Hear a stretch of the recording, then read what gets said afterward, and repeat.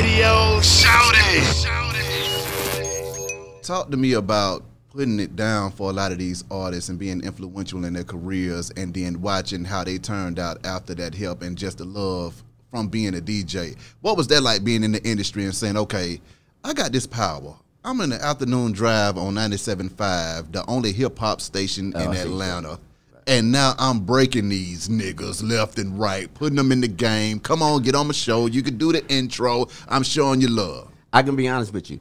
From a record side, I never really think like that. Um, far as like breaking, I, Yeah. I, I don't give anybody no one credit like that. I, somebody can be the first to introduce it, but I, I, everybody got to play the record and play it more than once. That's And we also know that. See, if if that mentality is true, then uh, say for instance, any corporation, radio station, blah blah blah, will just run these records in the ground. And sometimes they do. And Yeah. guess what? You find out you never liked the record no way, even though they ran it in the ground. So I ain't taking credit for, you know, uh, but on the radio, as far as giving people a shot, I'm big bro. Yeah. And the problem with the, the, the thing I struggle with when, when it comes to I've been big bro to you, I'm not gonna all of a sudden be a little bro. not gonna happen. Um, status in this industry is a behind the curtain thing. Yeah. Okay. Um, yes, you can sit in the front of that plane. I can sit in the middle. But that mug go down, we going down. Yeah. When we land, you happy as I am. We gonna eat the same place. We gonna go to the same place. We going to the same stage. We may do that same thing returning. Yeah. gonna both get in the car. Like it's too many common threads for me to. I'm not living on Fantasyland. and I once I went through that with Kris Kross one time. Yeah. Lear jets, bullet trains. Yeah, and go in history. We was on that then to travel because they needed us that fast. okay, I don't know. I got motion sickness. What do I need to take? Let's go though, right? But that's I came home and, and then got in my Honda and drove to Moreland Avenue to the house I was renting.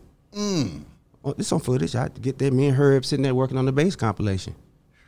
Uh, yeah, I never been on the lit, so I don't sit over here. I don't sit over there with people in their life like that. So Yep. I leave it on the stage, and that's it. Exactly.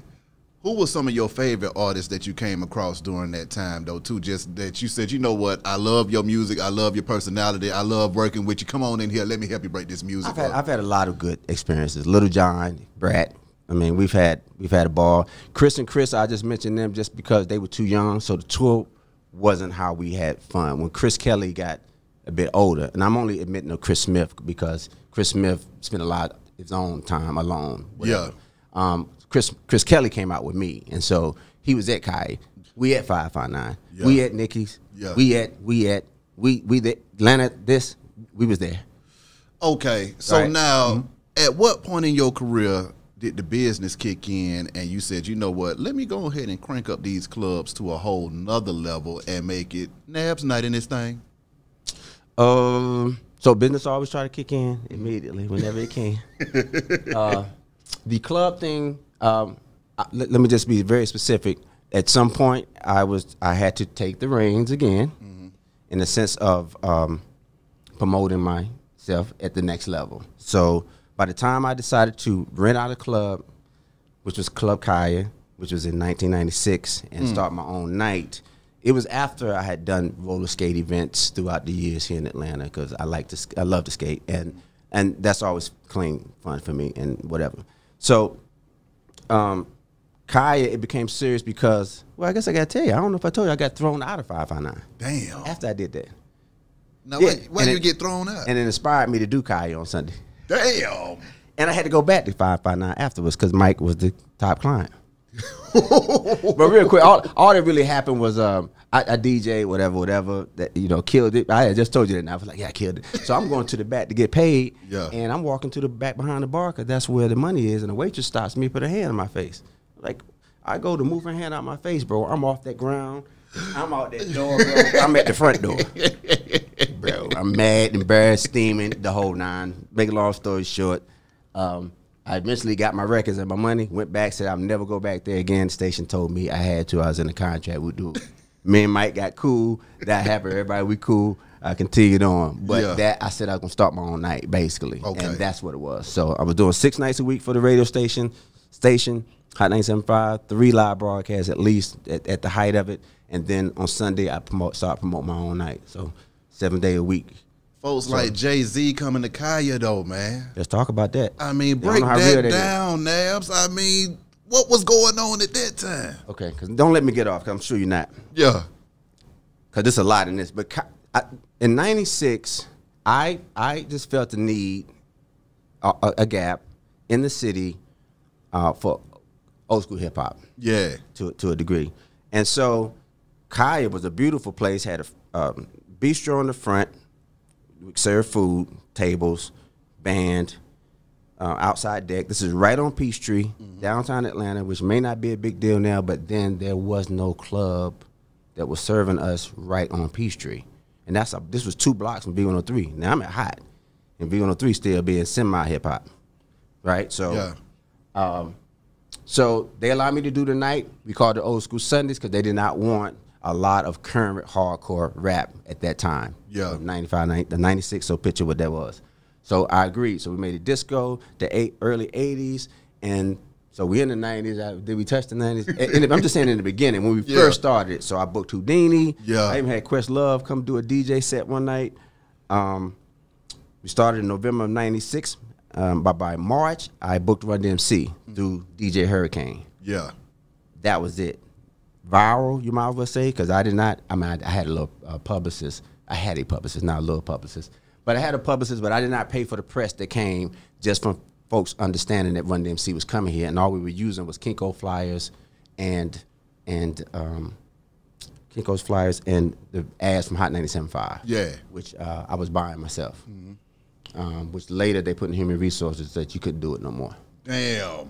I'm pre human resources in the Radio One. I'm a lot of I'm a, a reason for a couple of those things they put in there. I'm sorry.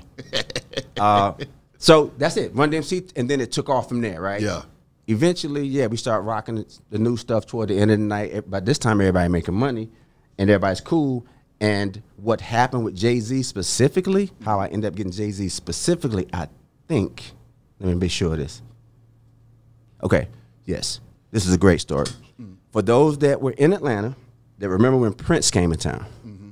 Prince took his symbol and put it over top of Atlanta Live. Mm. So picture a crane taking a huge and laid. I thought it was the dopest thing ever. I even took that concept and made my in the lab neon sign. Yeah. Okay, for those that know about that, he did. So EPMD's reunion was supposed to be scheduled at Atlanta Live. So they kicked EPMD slash Def Jam out mm-hmm. for Prince. They had nowhere to go. This must have been a Sunday night. It was a Sunday night, and I I couldn't have him at Kaya for the price point because Kaya was already packed. So I took it to the atrium. So I did two events in one night. I just rented a limo. I took Chris Lover, Love My Okay. Dancers, DJ Okay. Hurricane, right? Mm-hmm. And and I'm going somewhere with this. Kevin Liles from Def Jam was so appreciative. He came down to Kaya, saw it, said, "Man, open mic. I mean, open bar. Sorry, open bar for an hour on Def Jam. Mm. Word, boom. Got on the mic, told everybody. He said, "I'm gonna bring you somebody." Motherfucker sent me Jay Z for free. My God. Now I'm I'm gonna say this because we're actually in the process of contacting Roc Nation, Jay Z, whomever, but because Old School Sundays at Kai was so successful before Jay Z, I I had mics dropped from the ceiling installed for my Sunday night. Recorded the turntables live, recorded the mics to an eight track DA38. Uh, eight track DA38 because back then that was the only machine that I could get two hours of record time. So my engineer changed tapes every two hours Yeah. we recorded that Jay Z show. And we recorded it with a camera, but not because it was Jay Z per se. We recording recording most of my nights. That's what you did. That's what I did.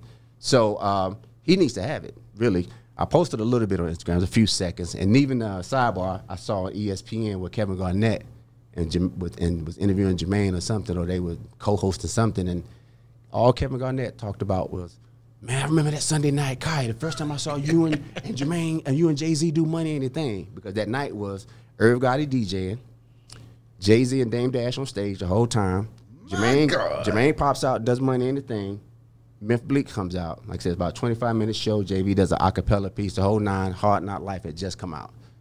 Now again, that repeated with Redman and Method Man and others. I did that night for about three years. I wrote a book about it called Old School Sundays: The Club Kaya Experience. And there was a documentary, docu- documentation, blah blah blah. And that's just three years, 1996 and 1999.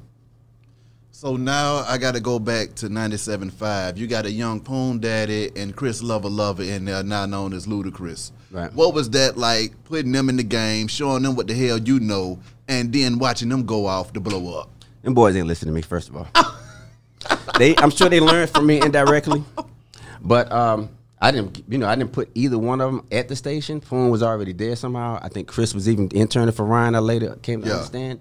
But as far as Chris being a personality, the photo that's now in the Rock and Roll Hall of Fame, um, in the lab with DJ Nabs, DJ Nabs, Chris Lova Lova.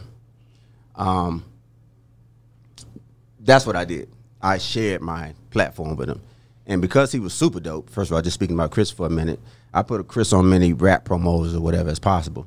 Um, just you know, I like to hear it. Yeah. And I like my show to be, you know, and I use Chris and others.